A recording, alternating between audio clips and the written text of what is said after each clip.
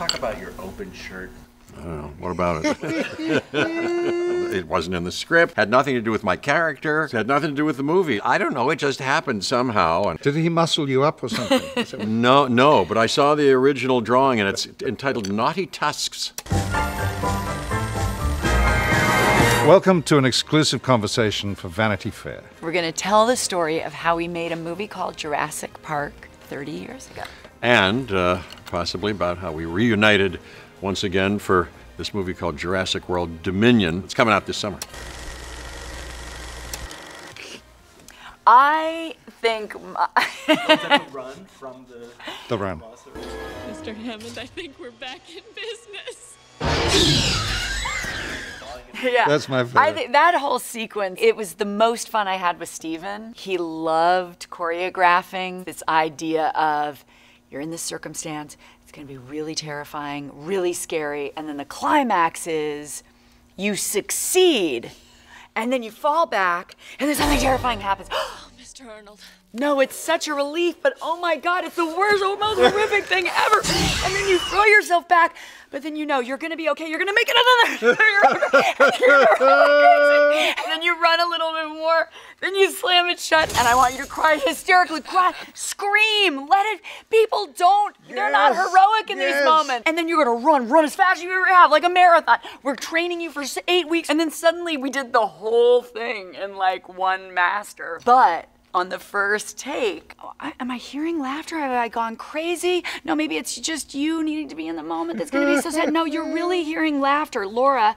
You're hearing people laughing hysterically, and suddenly I look back, and my wire of my flashlight has been dragging all the various limbs of Sam Jackson's character as I'm oh traveling. God. So I have like eight body parts as I go through more than there was more than the arm that props had put there just in case he wanted to see more.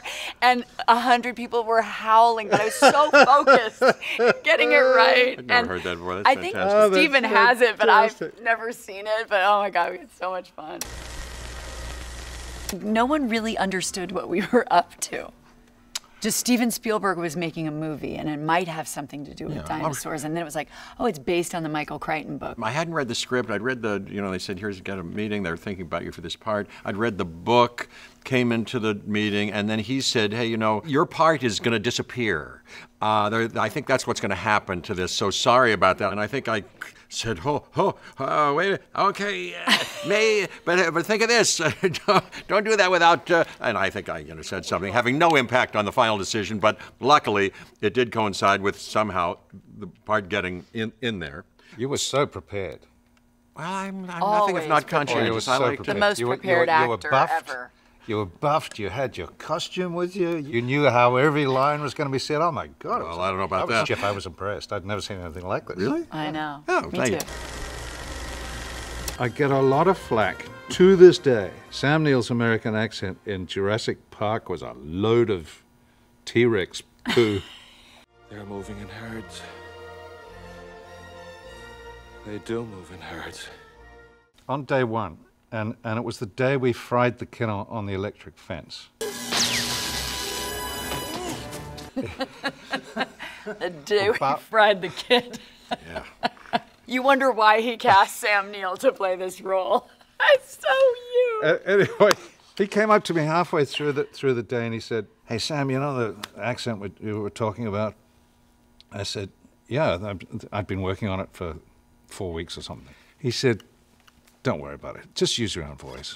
I said, "That's great, Steven. Thank you so much." And then four days later, he came up to me and said, "You know that voice you're using now?" I said, "Yeah, my my, my voice."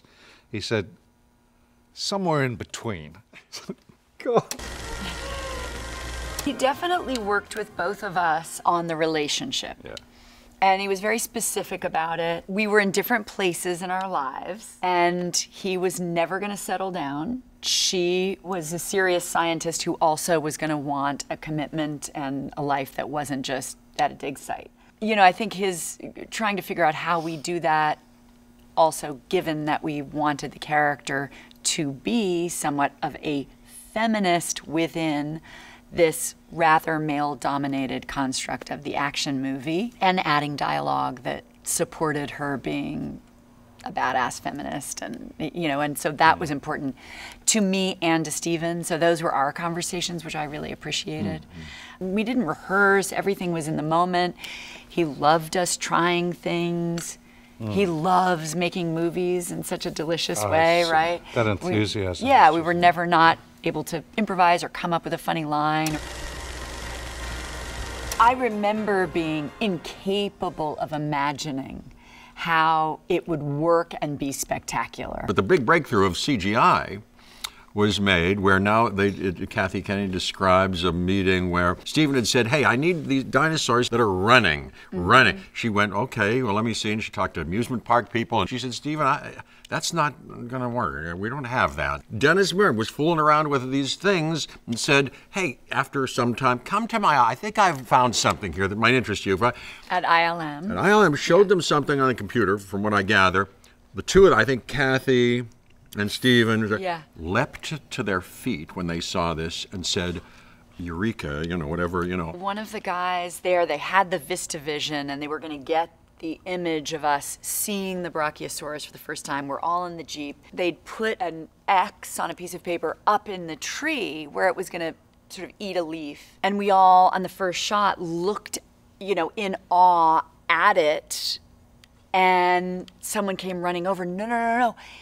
It's going to be so vast. And it was like, Jerry, Jerry, run as though you're the back of the dinosaur all the way to, so we could get the scope of how big it would be. And we're like, oh my God, Jerry, it's all the way back and his whole body.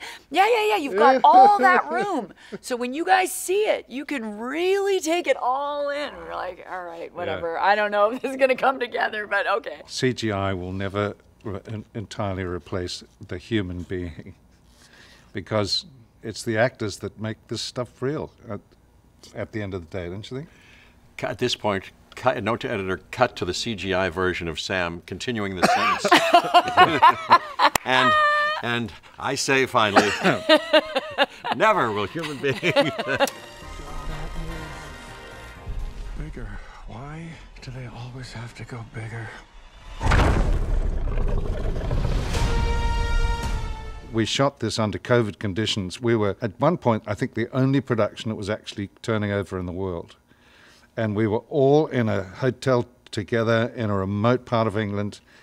And this is all we knew just each other. shortly before we gathered, we had a you know a choice to live kind of separately in different mm. housing around the area, Pinewood Studios, and uh, then on one call, I think we all had a confab, and he said, "Well, here's my vote. I'm not going to make you do anything, but we have this hotel nearby where we could all take it over and just be there, and I think we could get say, enjoy that, and it might be very safe. And on weekends, on off days, we could kind of keep rehearsing and developing things." What's so incredible is that we all know that feeling from childhood of imagining what we always long to see. I mean, the dinosaur being a huge part of most children's lives.